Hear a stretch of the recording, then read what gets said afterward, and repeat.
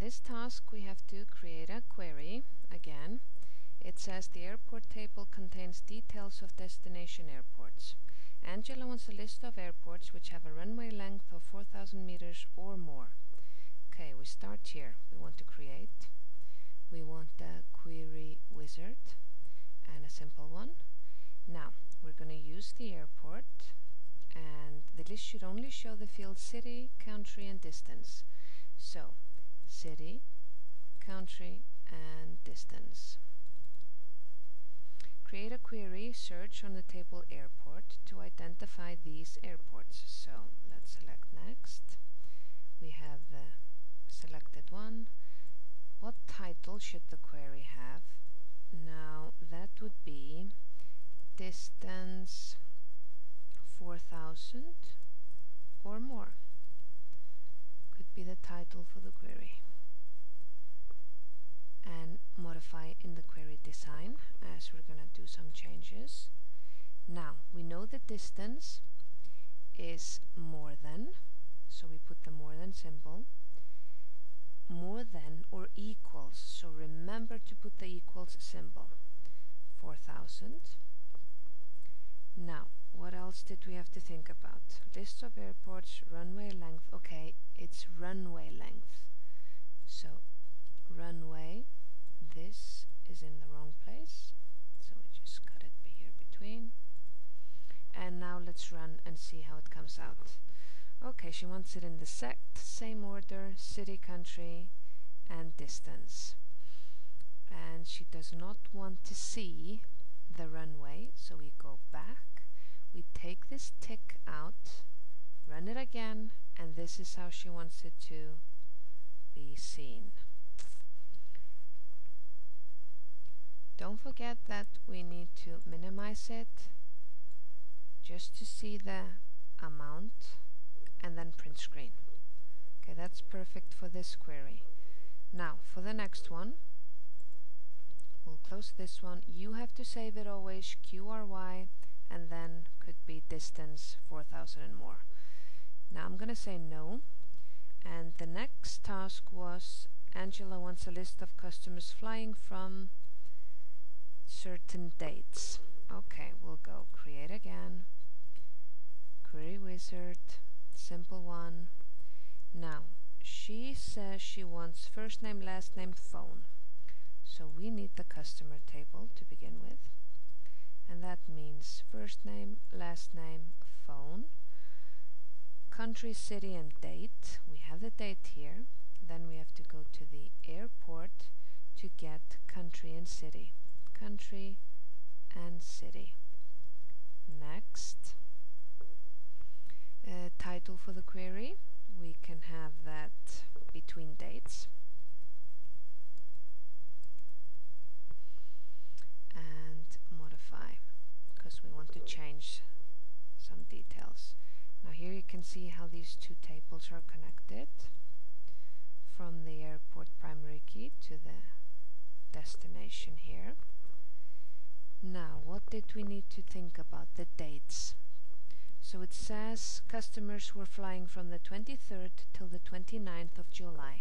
Now I can write here between and 23rd of the 7th of 2012 between and then and 29th of the 7th 2012 if I now run the query and these are the records that I get and there are five in total correct? Now I'm going to show you a different way. Instead of writing between you can also write more than equals the 23rd and we can drag here to see the field better. And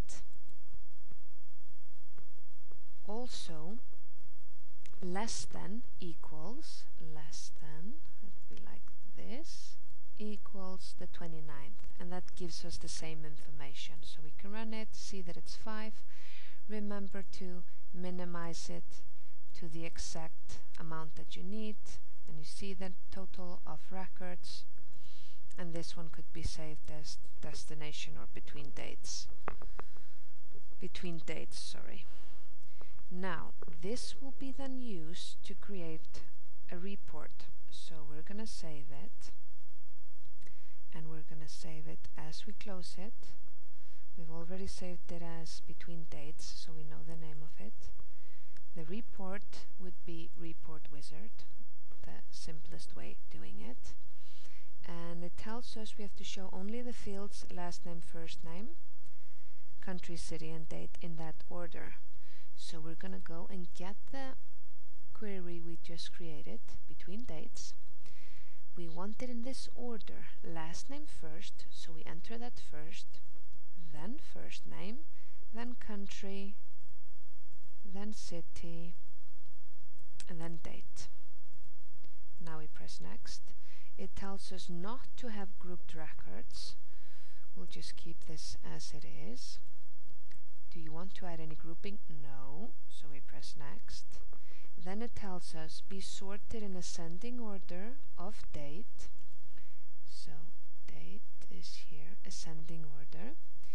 And within ascending order of city. So that means we have to put the city first. And then, as it's within the ascending order of date. Then we press next. Just keep the default layout and the style. Now, what title do you want for your report? So this is a list of customers flying between the dates we have already inserted. So customers flying between 23rd and the 29th of July. Could put 2012 also. We'll modify it. Now this is how a report is in design view. Customers flying between 23rd and the 29th of July. Very descriptive, very good. Now, we were told that we were only to show last name. Now it's not coming up in the order that I put it when we were in the wizard. So we're going to move it as it asks for last name first. So I'm going to click on last name, then I'm just going to drag it in front of city, like this. Then I want the first name, so I click, also drag it. Next thing is country and city, so we do the same thing, country, city, date. Now it's in the right order. Uh, what more? Have suitable column headings. Now make sure, the same as with the form, that I put caps locks on again. Last, space name, first, space name, country, city, date is very good. Now this one is a little bit maybe too big, so we'll drag it to the side to make it smaller. Same for the country, it doesn't have to be so big, the field and the date also a little bit smaller. Now it tells us to have in the report footer our name, candidate number and center number. So what we need to do is put it down here. We have to get a label, place it here. This could be center, let me have the caps locks on, center number and 96685. Now, then we can just create a little space here and say name and I'll put my name. And you can have comma, commas between or something like that. What do there's more no, more candidate number? And that could be your own number of course. You could also put another label. It's up to you but I think it's best to just have it in the same one here now, we're going to have to change this as this is the date and it's coming way too much to the sides. So we move this also a little bit towards the left side. I'm going to see how this report looks now. Press here on view. Now what happens here is the city field is way too small, so is the date field. The rest is all perfect. So we go back, we go to the design view, now this field we can just click it and drag it to the side like this and now it's definitely going to be big enough. The city field, however, also needs to be bigger. So click on city, drag it to the side, and that should be enough. We'll see how it comes out. Perfect.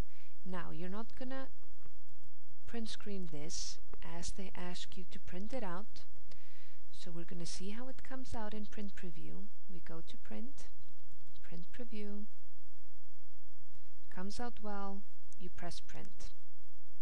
And that's it. And this was the last task for the database part of the exam.